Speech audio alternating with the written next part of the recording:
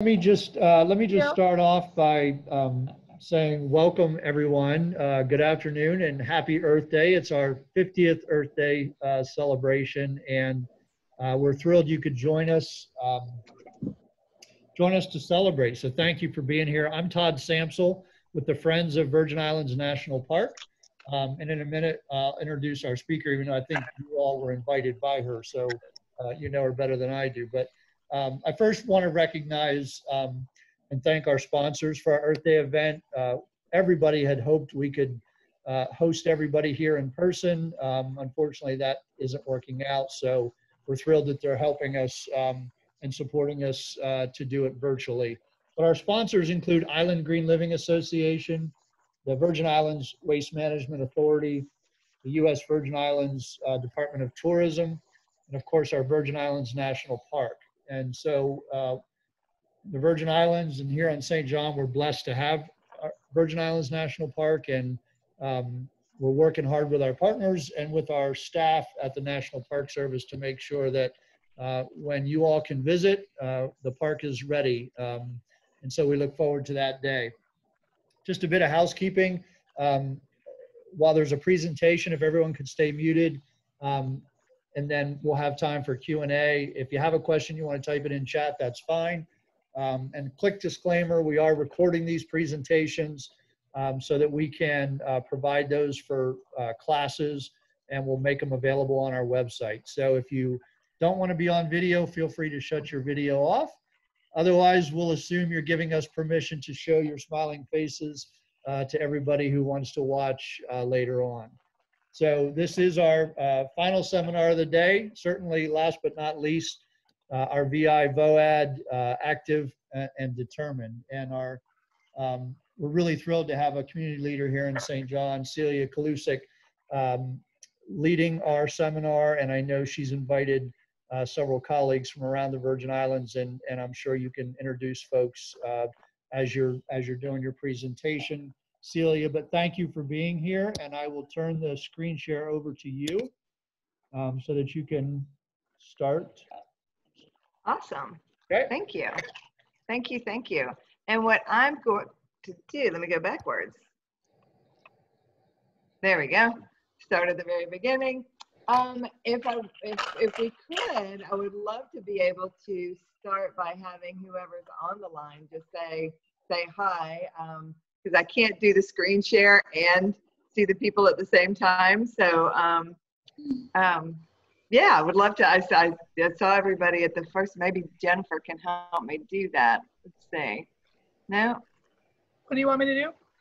um, no. I just wanted to. I see uh, Todd. Thank you again for for doing Earth Day like this. I know it's kind of a awkward awkward situation the way it is now, and the whole COVID COVID situation, but I think I think people are getting used to doing the Zoom things, which is kind of nice. Um, and Jennifer, you as a support person for Friends of the National Park and for for St. John Rotary as well, you're you're an You're asset. welcome. Thank you, You're thank you. And I see Dee from Dee and Anna from Community Foundation of the Virgin Islands. They are big supporters of just about everything that we do. And um, Esprit, that's uh, uh, um, Ebony, is somebody I wanted to point out as well. She is a FEMA VAL, which is a voluntary organization or voluntary agency liaison. Hey, hey, Ebony. Um, and Dr. Celia, who is big on the youth task force and who has been involved in the youth services and social services kind of thing for a really long time. BJ, who is Rotary, and I don't know if we have been able to get her in as oh there I see her picture with her funny hat on. There you go, Beach. She's on her iPhone. There you go. Yay! And then DJ, who is one of my favorite case managers and social service providers. She's an amazing woman. And Michael, it would I I, I don't know you or do I? And gi- give me a little background on who you are and what made you want to join us today. And you are on mute. Just unmute yourself. I got you. There you go.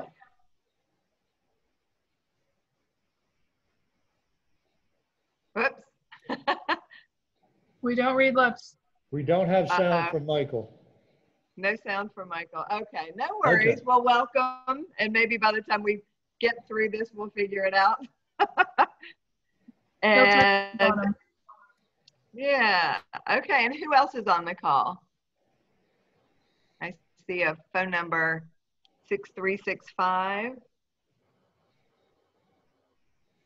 Well, we will, once we figure this all out, I'm going to go straight to the presentation and I'm going to buzz through it and we'll have a chance for question and answer on the other end of it and um, get give everybody a chance to either um, tell me what they're doing as far as Earth Day and or in preparation for hurricane season or in response to the COVID.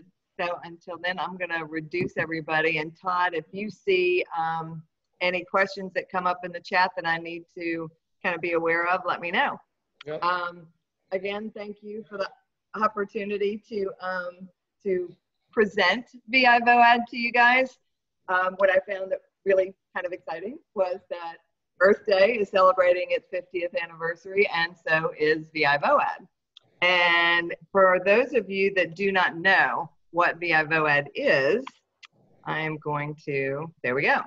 VI VOAD actually stands for Voluntary Organizations Active in Disaster.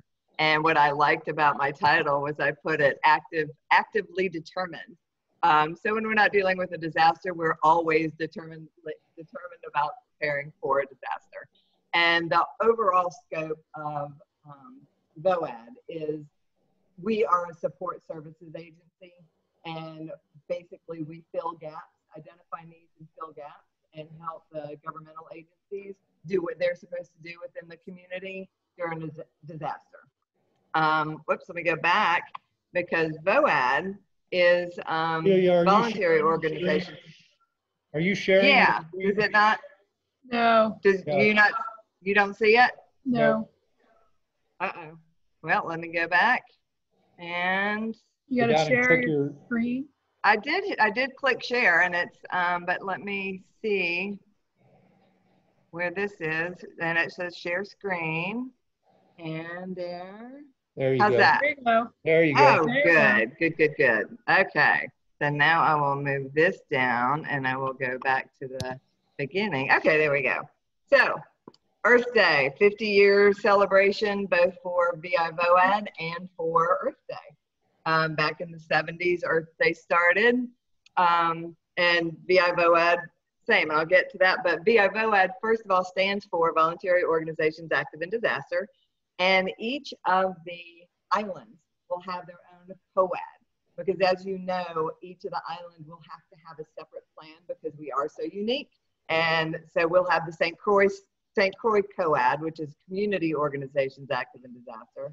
We'll have the St. John COAD and we'll have the St. Thomas Water Island COAD. And those organizations or those little groups are made up of not only nonprofits, but also faith-based work, um, faith-based organizations as well as governmental and individuals. We want anybody and everybody who can join to join. Because even if you're not affiliated with a nonprofit, we can determine and, and kind of interview you and see what your skills and interests are, and then we can affiliate you with an organization. And I'll show you some of those organizations further as we go.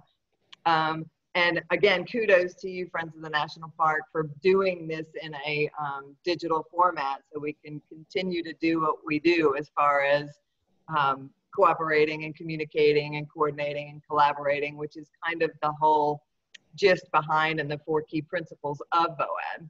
Um, what VOAD in, or what Earth Day, the first Earth Day was in 1970, and it launched a whole bunch of uh, initiatives and led to the creation of the EPA, just like National VOAD was formed in the 70s in response to a hurricane in Texas when all of the response organizations were coming together and it was kind of haphazard. Um, there were duplication of services in some areas and people were getting dropped through the cracks in other areas.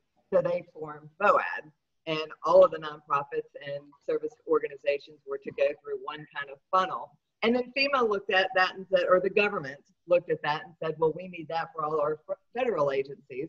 And they formed FEMA. So not many people know that VOAD came before FEMA, but now FEMA is our biggest partner and our biggest guiding factor and kind of helps us through VITEMA and then the governmental organizations. Um, we'll go through. Um, so every day, well, and I know if Jay is able to get on the line or Imani is able to get on the line, they're with our St. Croix and our St. Thomas COAD. And there are meetings, several meetings, and Dee from Community Foundation of the Virgin Islands can attest that there are several meetings um, on a daily basis that we go to so we can get the information to pass the information back to you. Um, some of the, this is, I'm going to show a couple of the screenshots from our meeting that's called, it's called the Emergency Support Center. Um, yes. And what they do every morning is here's a list of the people that, that come to this meeting and share and report out what they're doing. Um, what they call the emergency support functions, they have different roles and responsibilities. During a hurricane, the ESF 6, which is led by the Department of Human Services, they coordinate everybody, and VOAD reports to and checks in with Department of Human Services and says, how can we help you? How can we help you with mass feeding? How can we help you with sheltering? And now with COAD, um, or I mean with the, the COVID-19, Department of Health is the lead. And so now they're kind of calling the shots and we're, we're a support agency for them. Um, for instance, they need a bed at the, the um, clinic. So emergency um, EMS folks can sleep there if they need to. And so we're getting that from St. Thomas multi-agency warehouse, bringing it over here, and and Leo will set it up. So this it's a lot of stuff going, but as long as we funnel it down through the right channels, it's pretty well organized.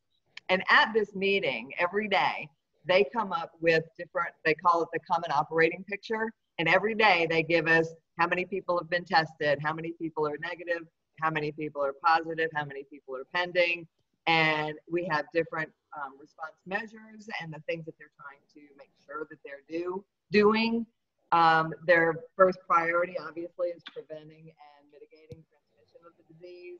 Um, when they say conduct surveillance, they've got VIPD that says, okay, now we are going through and we are busting up crowds of people more than five. We're shutting people down if they don't pay attention. Um, the provide public health and health and safety messaging. You, there's a multitude of radio shows going on, and again, the meetings, and then the governor's updates three times a week. So there's a lot of information going out there, and we just kind of try to funnel it. Um, Department of Health is providing mental or medical guidance, and they are relying on the World Health Organization and CDC and Department of Health and other resources. And they're also doing the lab testing and coordinating what they call medical surge capacity. And with that, we're having help with the National Guard, with um, Army Corps of Engineers, and they're actually building some sites where, in case there is a surge, and maybe I should just say when there is a surge, and our hospitals can't hold everybody that needs to be treated, they're going to have some facilities that will cover that. So we should, um, we're, I think we're in a better position now than we were a couple weeks ago, and I think we're going to be getting in a better position as well. And I think Dee can also talk to that as well. Um, some of the other things and and um, information that they share. And one of the things they try to they kind of drive home every day is just what we can do as VOAD members is relay accurate numbers and details and just make sure that there aren't, you know, kind of play rumor control and make sure that, you know, we don't start a panic, but at the same time, we maintain the seriousness of the governor's orders. So some of these and some of this information kind of helps drive that home. Um, they also give the islands by, um, or give the cases and their location by island, so you can kind of see where the cases are. You can also see if there's a, um, a, a change in how they've been transmitted, whether it's community transmitted, which is the worst because we don't want it out there. Close contact, if we can at least mitigate that. Travel, we can check people coming in at the airports, which they're they're starting with the temperature according to the Port Authority today, I think. And then there's um, there's other there other things that are shared at these meetings that that we put out there when we can.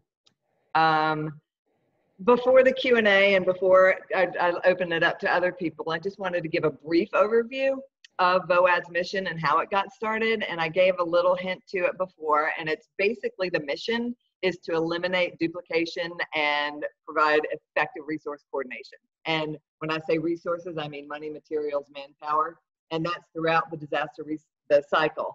And when I say disaster, it's not just weather hazards. It's you know something like this, the pandemic. It's also um, you know if there's ever, God forbid, you know shootings or uh, it's called all hazards.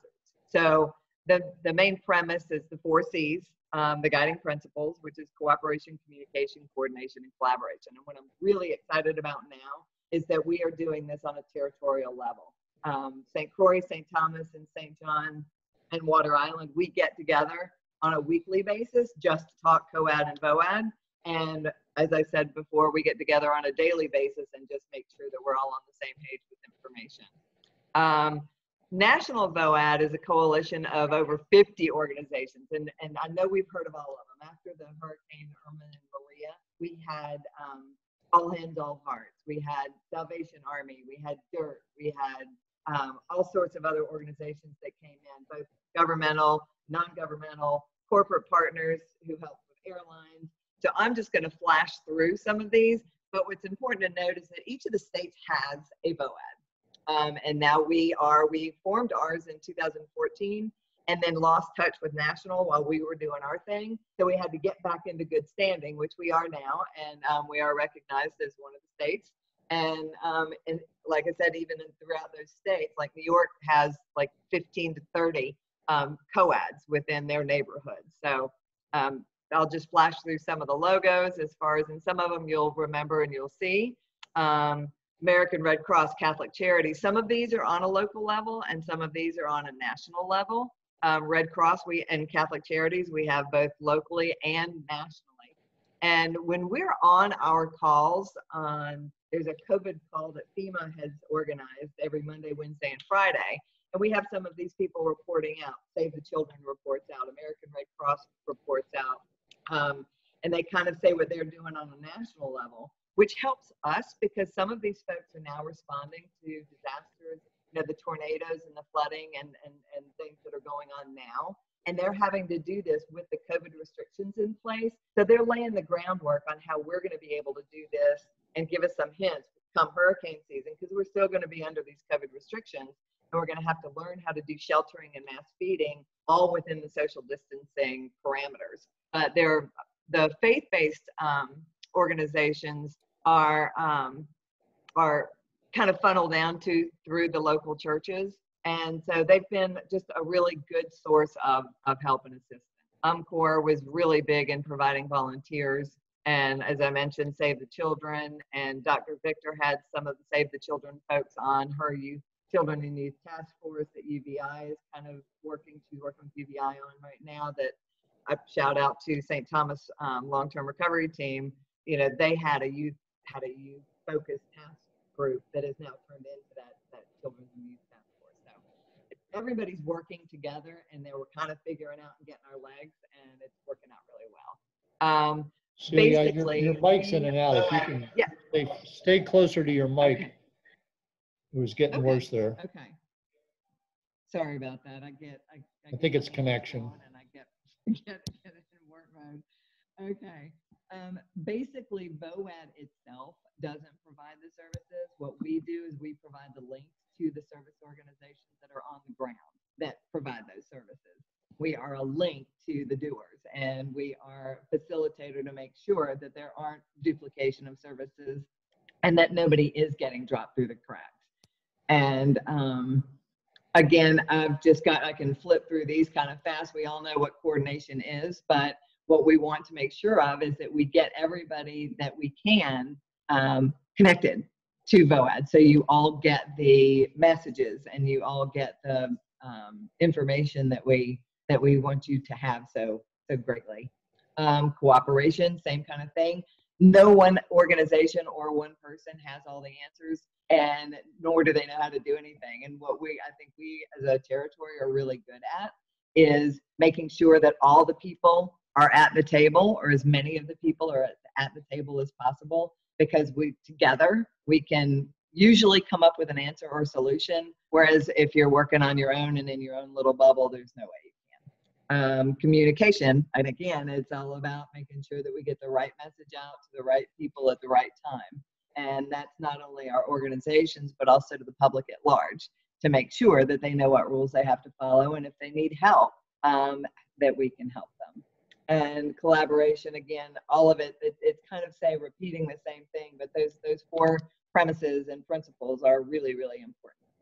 Um, so what I wanted to be able to do is if there's any community partners that are on the call that want to give a quick update as to what they're doing, whether it's in regards to Earth Day or whether it's in regards to the COVID um, crisis or whether it's in preparing for the upcoming hurricane season, I will stop sharing the screen and um, open open the floor. I think I will. Exit. Celia, I'll uh, mention, um, Andy and I just finished our qualifications to become official St. John Rescue members. Oh, And adding- wonderful. And that included taking the FEMA National Incident Management um, System for courses. So almost everything that you presented in here, you know, was part of those courses. So um, yeah, I'd like to talk to you more about, you know, we learned all that That's stuff. So we know, I know what you're talking about. Yeah, that's fantastic. Now, do you also have your ham radio license? Uh, not yet. I started Not yet. taking a course and then you really need, to- they were doing a study group and I just didn't finish that yet. So that'll be next. Well, I tell you what was really, really important is after the storm, I was in the States and I wanted to fly back, and the staff said, Don't come back. We need you at stateside to do some communications for us. And so I, I literally was able to connect the three islands with satellite phones, ham radios, and um, cell phones. And Right. now, you know, I'm a I'm a ham radio operator now, and I'm and I'm studying for the um, American radio response um, teams as Nice. well. So it's Nice. it's something important to have. So it's so good to see y'all's faces. Yeah. And I know DJ, I know, or B, DJ, hello, good to see your face. And BJ, I know that you might have wanted to say something about what um, Rotary is doing. And you are on um, mute. So um, if you can go down to the corner and click that microphone. There you go. So uh, I'm here as a realtor and as a Rotarian. And one of the things I'd, I'd like to do a shout out for the realtors. We've got 1.2 members, and we were we were really fast off the mark on this, and got uh, we've been working to have laws relaxed and changed on the national level. And the reason, one of the reasons that independent contractors have been included in all of the SBA things, the funding opportunities, is because the realtors went in there and and just pushed as hard as they could with with our own lobbyists. It's it's funny because normally we're just lobbying for home ownership. Uh, this time we were actually lobbying for ourselves, which is really a change for us. So that was really good. We're also getting laws changed about notary. So a notary can be can become virtual. Um, appraisals, we're getting laws relaxed on appraisals so people can continue to refinance their homes and sell their homes. So the appraisals can either be postponed or become virtual. Um, there's a lot of online learning available and and the messages from the Realtors Association are all messages that we can take right out into the community because our reach is pretty pretty deep. On Rotaries and we've got 500 little peak, peak buckets, little flower pot, pots, and we've got little tablets, dirt tablets to put in them, and we've gathered a couple thousand seeds. Um, Jennifer's putting together some nice little pieces of paper, instruction sheets to put in them, and we're going to put them all in little brown bags and staple them with Rotary on the front, and try our best to get them out to every child on St. John. So every child will be able to start a ginger Thomas plant, which is our territorial flower. And they grow like weeds, so it should be easy and successful. They'll learn how to plant, they'll learn how to care for a plant, and then um, they can't eat it, but they can go ahead and plant it outside and it'll be very, very pretty forever. That's what we were gonna don't die. do. Rotary was gonna do at the celebration today. So Yeah. Another way, we'll figure it out. Yep, yep, and it's it's a good teamwork kind of thing. And one of the things that you brought up, BJ, is one of the things that I did not mention is as we develop our website for VI VOAD, we've also established a BEOC, which is a Business Emergency Operations Center. And we already have, if you go to www.vibeoc, you will already see some links that um, that we've been able to get started, and we will kind of transition those into the VI VOAD website. But um, again, it's a work in progress. But what we're hoping to do is is connect and support businesses as they kind of transition through all of this and the economic hardships and everything that they'll have to go through. So we're hoping to be a support system for small businesses as well as individuals and nonprofits and faith-based organizations. So thanks, BJ. Right. Sure. Dr. Celia, do you have something to add? You're on mute. So if you want to. Um, Let me unmute myself. Yes, my dear. Yes, darling. Um, well, actually, I am one of the chair, the chairpersons for the Children and Youth Disaster Task Force, which was a task force that was started after Irma Maria in 2018. Um, and it's actually now about 90 or something members. Um, the Children Task Force, the focus of it is to make sure children have a voice and the families. Um, and so it started under the auspices of Human Services um, with former Assistant Commissioner Janet Tomo Krieger. And when we partnered with the St. Thomas Recovery Group and UVI, it became a person unto itself. And so every week, more and more members come who believe in making sure children have a voice. Um, I've been honored to be, I was the chairperson, and when I went to UVI, I was asked to be the chairperson. And so the work I've been doing um, with Dr. Gwinnell and the team, we ended up doing a presentation at the Clinton Foundation in Puerto Rico. Um, and we also did a presentation when the Clinton Foundation came to St. Thomas last year. One of the things that we've been trying to do with the federal government is to find ways to get funding to address issues of the task force. And what are the issues? The issues are health and wellness, community engagement and education, and spirituality. Um, because based on the, out, the outreach in the community, um, the children in many entities have said that faith is something that helps them cope with this, um, including schooling. And so, what's interesting about this year um, is that when I came back from my trip in Europe in January, um, the task force was activated like the second week in February. And one of the focus at the time was human trafficking because the task force had begun to do sessions on St. Croix and St. Thomas to look at children being exploited in the territory and other places based on what we had heard. And because COVID 19, um, I saw it coming, it became a focus for the task force. Yeah. Um, Dr. Audrey Thomas and myself, and some of the nurses who were there from Irma Maria, we worked collaboratively with Dr. Hunt and we began to educate the childcare centers um, as well as the Head Start staff about the signs and symptoms of COVID 19 before COVID 19 became the way it is now. Because I kind of felt as a team member, as a medical person, because I'm a pharmacist as well, that knowledge is power. And if you empower, if you provide families with information, the fear goes down, the anxiety goes down. And so we have been meeting. And what's interesting is um, about two weeks ago, I reached out to Dr. Marilyn Benoit, who is a child psychiatrist, adolescent psychiatrist, who is also um, former vice president of Deborah Foundation from Trinidad, who came to share with the task force about how to cope where you are.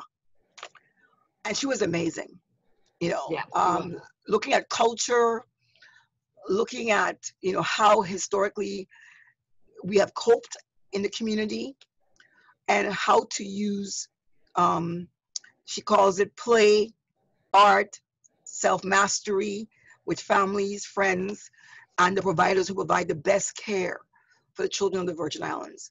Um, and it was funny because after she did the session, we brought her on the radio at WSTA. She did the same thing. And when she was done, she said, "She said, Celia, I'm joining the task force because the work that the work that the community is doing." She said, "We've never done that in Texas or in Philadelphia. Wow. Wow. not just a disaster task force; it's a task force that deals with either man-made or natural disaster."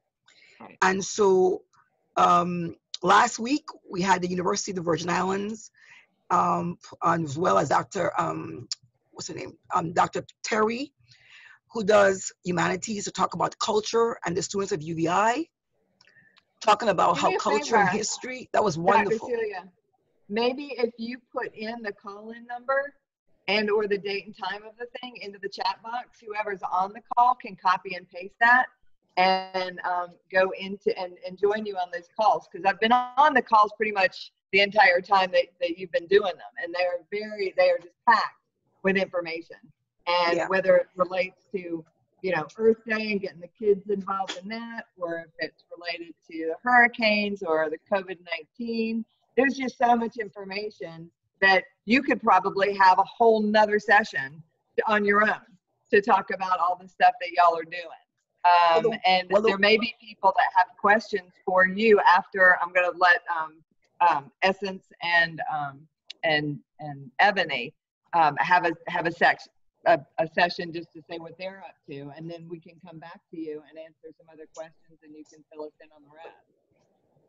Yeah, that sounds good. But I think one of the things I want to share with the group um, before I jump off is the fact that one of the things we identify as needs in the task force. And Yeah. so the two needs that came up was one, the Haitian community and Hispanic community share with me that they their student their children don't have a lot of access to iPads. So that's a challenge for them right now in their communities of how to make sure young their children get access to being educated. So I'm waiting for Serrano Griffith to reach out to me because I got like several calls. That's one thing. And two, Mr. Henley, who Henley shared that a lot of the seniors are still not having access to food. So I'm waiting to hear back from him. Um, so the wonderful thing about this, the team, this particular team, is that this team expands to all other teams trying to work together to do what needs to be done. But D, actually D as well, D Brown and um, Miss Gabrielle is also, when they have time to call in, they can, especially Miss Gabrielle, Anna, because it's really important that we, we go where people are. Yeah. Um, and that's what I want to share with the group. But thank you so much, Awesome. Celia, for Yeah. inviting me, because it's a lot to be done, but I thank you so much. Yes. We'll put that put that contact information in the chat box, and I can also send that. And remember too that we have the VI VOAD, the last um, the full membership call the last Friday of the month. So that's going to be this Friday. So if you got an email from me about the the Zoom call, I should have also have you on the list for the um, the VI VOAD, and that's where we can fill in some of those needs. And that's what VI VOAD like Dial Ride, um, St. John Community Foundation, My Brother's Workshop, Catholic Charities, they're all feeding people. Now we just need to make sure that nobody is getting dropped through the cracks as the, and, and not duplicating. So that's that whole coordination piece that, that, that we're talking about. And that's a good, good, good segue into you, um, Ebony, and um, some of the stuff and the support system that you and the other FEMA VALs offer us not only just the VOAD members, but also the territory as a whole. Um, if you want to give a little shout out as to some of the stuff you do, I know that we've got um, let, about 15 minutes left, um, and then we'll um, work our way back to questions.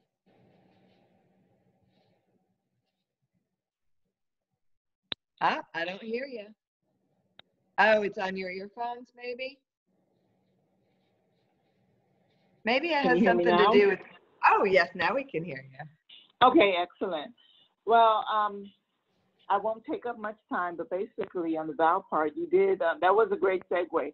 As a voluntary agency liaison, we are part of many of the conference calls in the territory to make sure that no one's really falling through the cracks, there's not duplication of benefits.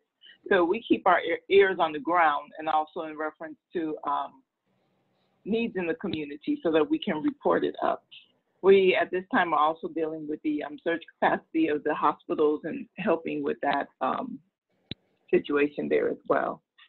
So that's um, all I have for now. I won't take All up all right. the time. All right. Well, I do want to thank you again for all the work that y'all as, as FEMA Vals have done for us since the hurricanes. And I mean, help as far as helping with the community response plans and setting up community meetings and interacting with people and interacting with the faith groups. So we couldn't have done this without y'all, and I appreciate y'all being a part of this. Celia, Celia, we also have Naomi from the St. Croix uh, FEMA uh, Awesome. Val as well. She was on the phone and I think she was trying to unmute. So just wanted to make sure she had a chance to add anything that if she wanted to. All right. Naomi, if you are there and can say anything.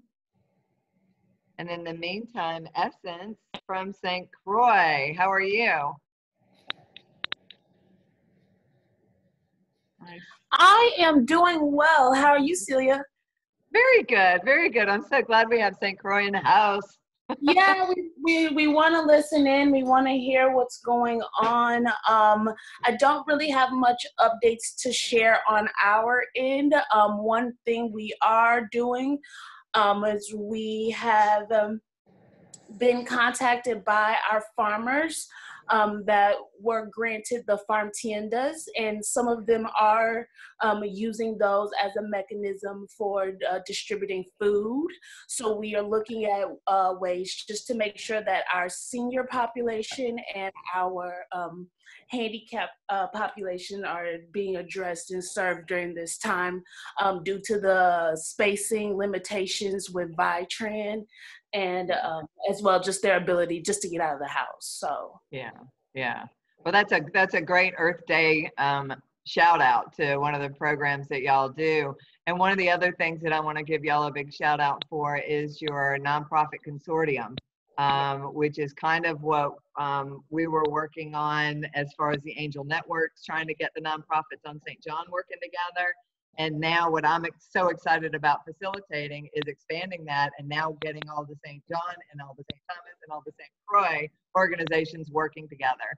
And whether we sorted out D um, with Community Foundation of the Virgin Islands, and I had talked about breaking that out by impact areas so we can have the larger conversations. And when we have a conversation about environment or energy, that we have all the people from all the territory um, that at that table for those discussions. Because again, together we will we will have better better brain power.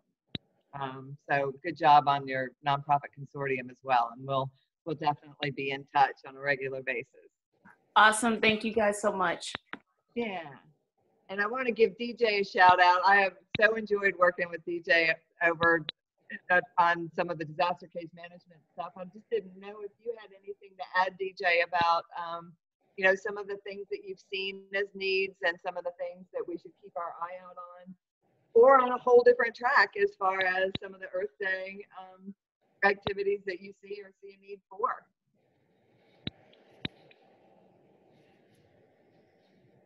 Are you muted or Hi, can everyone hear me? Yes, yes. Okay, I just, I just have to say full disclosure, my, my feed is really choppy. I'm not hearing everyone very clearly.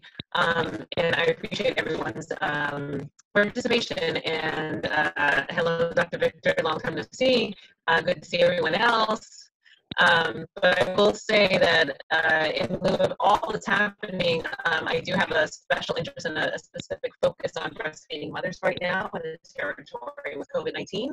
Um, I know that uh, we are having a challenge with our um, mothers in territory and whether or not it is safe to breastfeed during this uh, pandemic. So I will say that I am continuing to plug into the concerns with local pediatricians, pharmacists, as well as uh, breastfeeding mothers and their support systems as to how to keep our young ones healthy and thriving in the midst of a pandemic. So I, I do say that in terms of Earth Day and thinking of our youngest, most vulnerable population, it is at the forefront of what I'm thinking about right now, but I am considering all that has been discussed in this particular conversation. Um, I will have to kind of touch base with everyone as, as I mentioned at the forefront of this, my feed has been very choppy and I've missed a lot of this, but I will get uh, with uh, Celia, Dr. Victor, and uh, Todd in terms of getting updated on some of the information that I did not hear, so I apologize. Awesome. Well, it's great to see you and um, look forward to getting any kind of communication together. It's, it's all, always good to be with you. Yay. So that, that gives us that we're at 446, which is good timing. If there's any questions that anybody has, would love to field them. And um, if anybody else has anything to add or feel like they need to share anything else, that'd be awesome. Dee, do you and Anna, I mean, I know you guys have your hands in so many things. Um, and again, just kind of like Dr. Celia could probably have a whole session yourselves. Is there something um, that you would like to feature on some of so many of the things that you promote and, and support? Well, I, I guess from our perspective, we just, you know, we're excited to be part of something which was celebrating Earth Day. It's a, Yeah. it's a really nice opportunity to get to, to meet Todd. Um, it's uh, someday maybe face to face and to see a lot of um, other old friends or long friends who have um, been working with us in so many different ways. Um, you know, but it's also the, I think that um, CFVI's commitment to children, youth, and families in the territory was always our driving consideration. And so much of that really ties back to protecting and preserving our environment Yeah. and supporting um, activities that can involve families and classes in really um, doing things like gardens or um, working in the national park. So I mean, it's it's all so connected, and I think sometimes the environmental focus gets um, diluted because basically it's such an important part of all the other um, efforts for children, youth, and families. So I just kind of, you know, we, we did our, our posting this morning of, um, particularly in the last three years, we've had an opportunity to support a number of different environmental efforts throughout the territory. And um, honestly, that's, that's as much fun as it gets to be. So that's been kind of, you know, we've been parts of tree plantings and, and path restorations and building trails and um, helping with uh, recycling and you know it's just it's all it's all part of what we're all committed to as far as building forward a community and a, and a virgin islands which is so much better for us than it was three years ago. And i just also get celia with being in those meetings on the uh, every morning.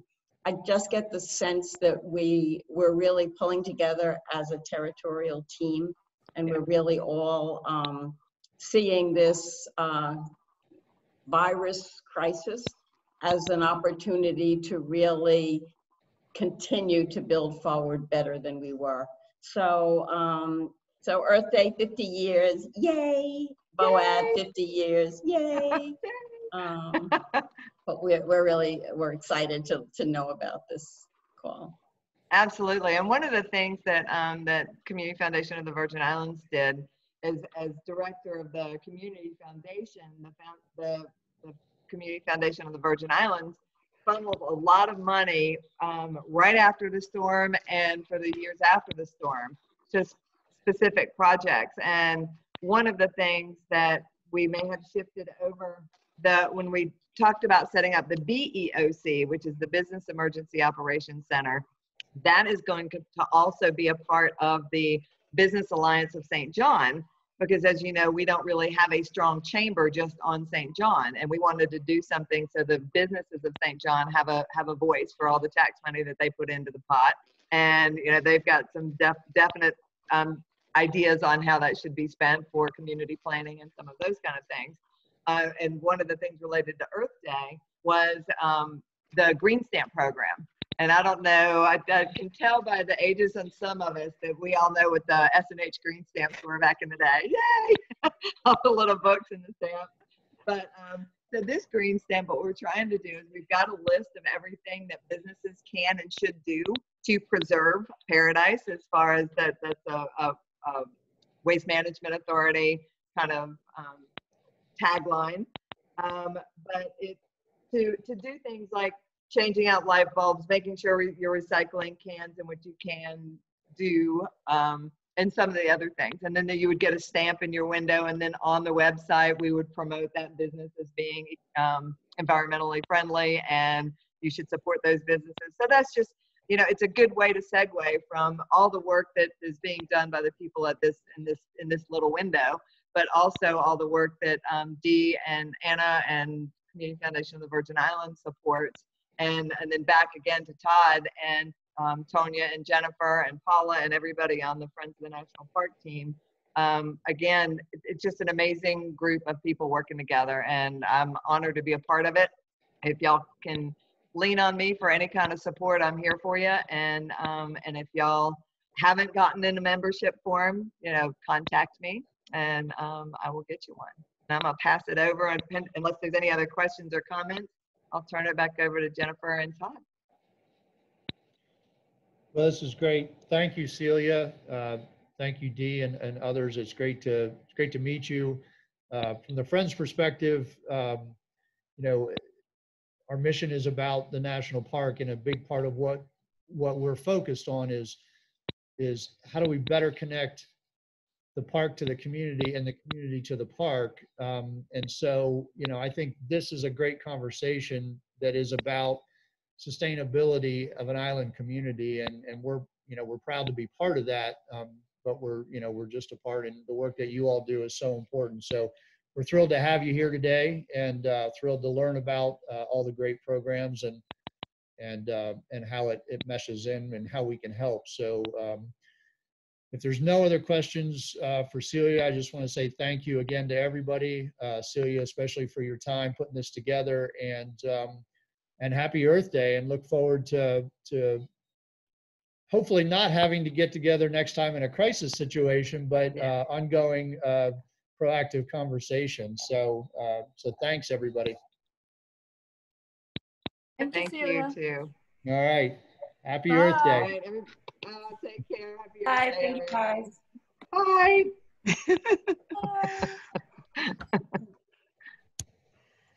oh gosh.